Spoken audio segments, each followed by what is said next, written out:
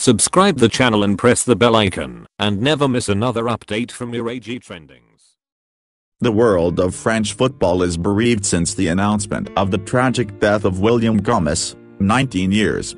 This young defender had spent five years with the reserve team of AS Saint-Étienne and since his departure from the Forez last June, he returned to live in his neighborhood of Seyne-sur-Mer, Var.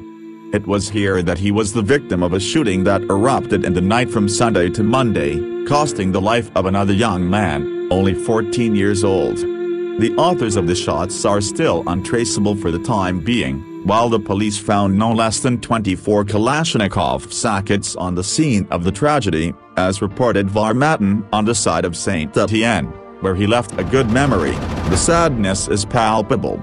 Leaders, coaches, players and employees of the club are deeply affected by the brutal disappearance of William and extend their deepest condolences to his family, said the club Forez in a statement, in which he also questioned a young man without history, appreciated by his former teammates and educators for his human qualities.